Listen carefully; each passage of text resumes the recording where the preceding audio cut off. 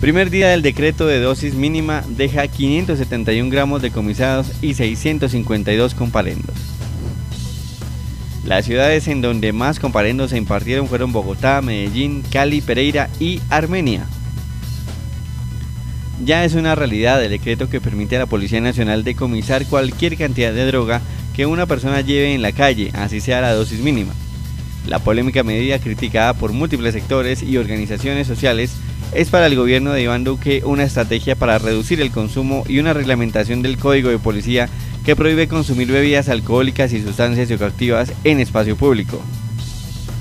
En su primer día de funcionamiento, la Policía Nacional decomisó 543 gramos de marihuana, 12 de bazuco, 8 de cocian, 4 de otras sustancias, 3 de base de coca y 1 de heroína en todo el país.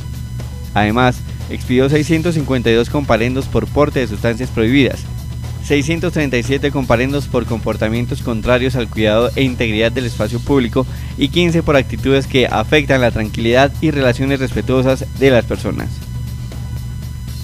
Las ciudades en donde más comparendos se impartieron son Bogotá, 119, seguido de Medellín, 73, Cali, 67, Pereira, 41 y Armenia, 36.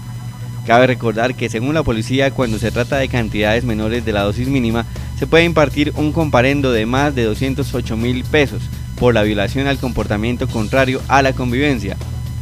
Será una multa tipo 2 que equivale a 8 salarios mínimos diarios legales vigentes según el Código de Policía. La Policía Nacional puede incautar y destruir las sustancias prohibidas en el espacio público que no excedan la dosis mínima y que estén siendo portadas o consumidas. Sin embargo, la policía aclaró que las personas no serán investigadas penalmente por la sustancia que se les decomisa y que este escenario aplicará para aquellos que lleven consigo cantidades superiores y que por ende deben ser puestas a disposición de la Fiscalía. Después de la incautación, los elementos serán puestos a disposición del comandante de estación de la jurisdicción, quien procederá a su destrucción, según el procedimiento establecido por la policía. En caso de presentarse un recurso de apelación, la destrucción de la sustancia se hará siempre y cuando sea confirmada la medida correctiva por parte del inspector de policía que conozca la situación concreta. De lo contrario, la policía realizará la devolución a su propietario o legítimo tenedor.